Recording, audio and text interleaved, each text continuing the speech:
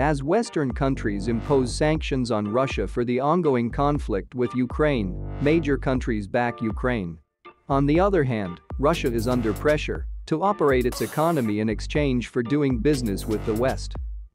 One of Russia's primary concerns is the aircraft used by national airlines, which rely pretty much entirely on Western aircraft such as the Boeing 737 and Airbus A320 series, as well as other aircraft manufactured by the same firms. However, they have halted the parts and services that assist Russia. Due to ongoing constraints from the West Russia can now return to Soviet days, focusing on Russian-made planes and internal flights. Russia is already producing large military and civilian passenger jets such as the Sukhoi Superjet 100, Tupolev Tu-214, and Irkut MC-21. Aeroflot plans to collaborate with the government-owned United Aircraft Corporation of Russia and Pobeda Airlines to purchase 300 jets.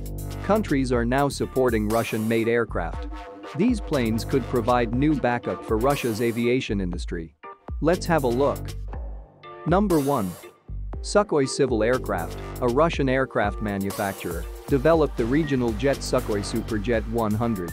It is designed to compete with the CRJ and E-Jet programs from Bombardier and Embraer, respectively.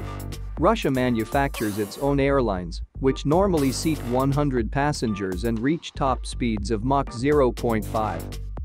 Number 2. The Tupolev Tu-214 is a single-aisle twin-engine long-range aircraft with a streamlined aerodynamic design and sophisticated integrated flight control and navigation technology. Tupolev was formed on October 22, 1922, and has its headquarters in Russia. It has designed over 100 civilian and military aircraft models and manufactured over 18,000 aircraft for Russia, the Soviet Union, and the Eastern Bloc.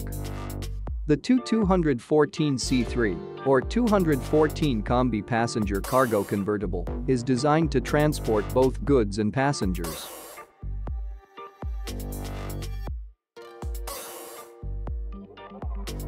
The Irkut MC-21 is a single-aisle airliner designed and built in Russia. This was previously at the certification stage and was developed in collaboration with Western aerospace countries it currently uses a Pratt & Whitney engine although Russia may soon replace it with a locally made Aviadvigatel PD-14 engine. The MC-21 moniker is originated from Russia and means major plane of the 21st century, and it is intended to compete with the Airbus A320 and Boeing 737 families.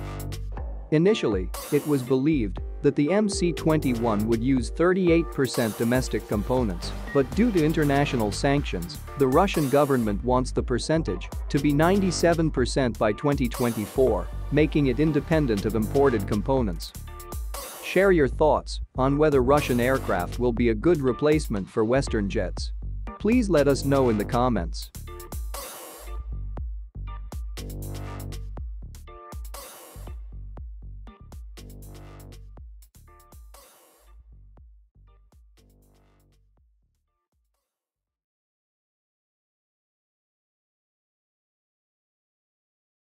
If you liked our video please subscribe to our channel.